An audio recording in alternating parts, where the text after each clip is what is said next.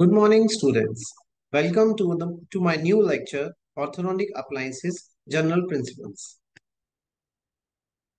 We would be discussing this topic under the following head, definition, classification, advantages and disadvantages of removal and fixed appliances, and finally, the ideal requirements of orthodontic appliance. First, we will see the definition of orthodontic appliances. Orthodontic appliances are devices which by means exert mild pressure which may be applied to a tooth or a group of teeth and their supporting structures so as to bring the necessary changes within the bone which allow the effective tooth movement. So as you have understood from this definition, it is a self-explanatory uh, definition which explains you about the nature of orthodontic appliance. Now we'll see the classification of orthodontic appliances. That is, they are broadly classified into mechanical appliances and myofunctional appliances. So what are mechanical appliances? Mechanical appliances are further divided into removal appliances and fixed appliances. Whereas myofunctional appliances are also divided into removal and fixed appliances respectively. Now first we will see what are mechanical appliances. Mechanical appliances are the appliances which exert mild pressure on a tooth or a group of teeth and their supporting structures in a predetermined direction with the help of active components which are a part of the appliance itself. Means the uh, mechanical appliances are the appliances which are having active components which are exerting pressure on the onto the teeth and the surrounding structures. Whereas myofunctional appliances are these are loose fitting of passive appliances which harness the natural forces of the orofacial musculature which are transmitted to the teeth and the alveolar bone through the medium of the appliances. In other words, we can say that myofunctional appliances are those appliances which are not applying a direct pressure on the teeth and the supporting structures. These are passive appliances, okay, which are redirecting or harnessing the natural forces of the orofacial musculature. Now, we will see what are removal appliances and what are fixed appliances. Removal appliances are the appliances which can be inserted and removed from the oral cavity by the patient at his or her own will. Fixed appliances, these are the appliances that are fitted onto the tooth structure and can only be removed by the doctor or the operator. Active appliances, these appliances, as we have already discussed, are the appliances which exert a direct force on the teeth or the supporting structures to bring the necessary tooth movement. On the other hand, passive appliances are the passive uh, are the appliances which do not apply a direct pressure the, uh, because they are passive in nature and they are used to retain the teeth which have moved to the ideal locations. Now we'll see what are the advantage of the removal appliances.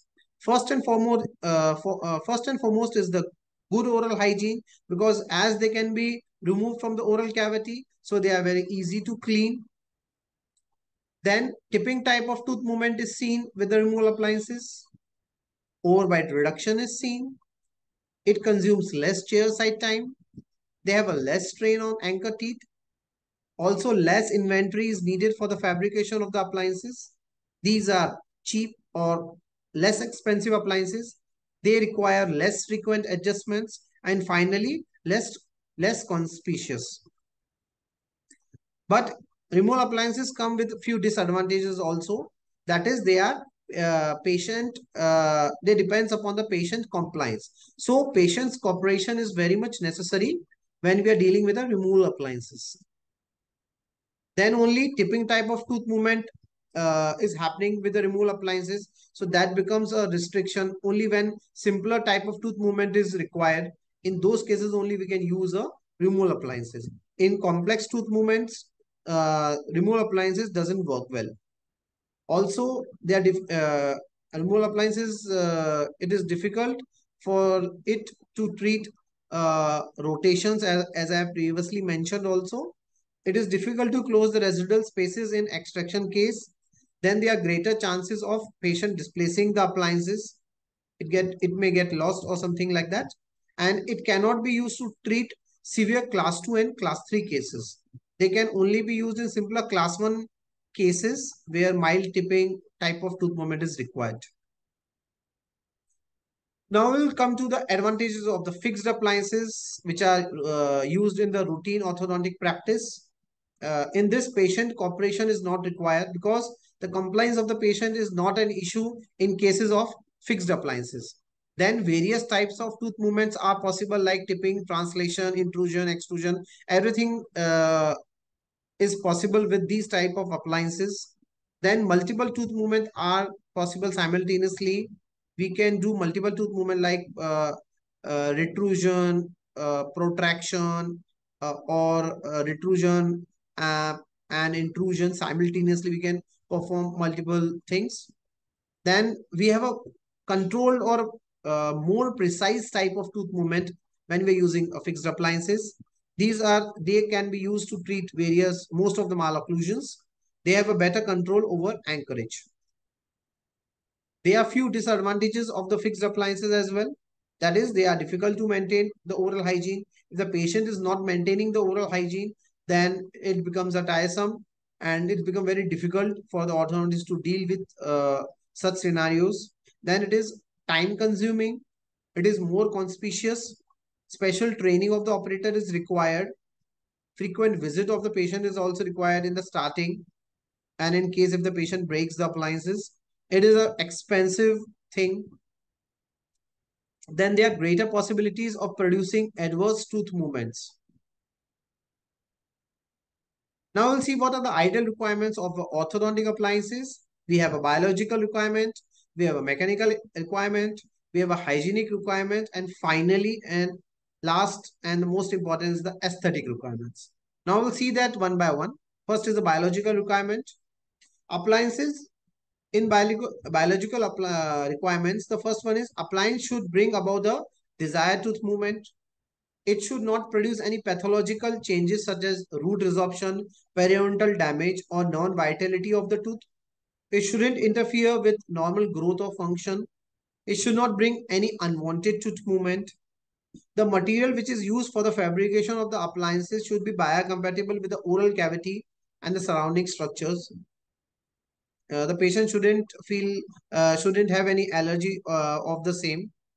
The appliances shouldn't disintegrate in the oral fluids. So these are the biological requirements when we are using any uh, appliance, whether it is removable or fixed. Then comes the mechanical requirements. Mechanical requirements of any orthodontic appliances, uh, especially the removable ones, is that it should be easy to fabricate by the operator. It shouldn't be bulky to the patient. It should be strong enough to withstand the masticatory forces. It shouldn't deliver, it should deliver control forces and it should be universally applicable. Then coming to the hygiene requirements.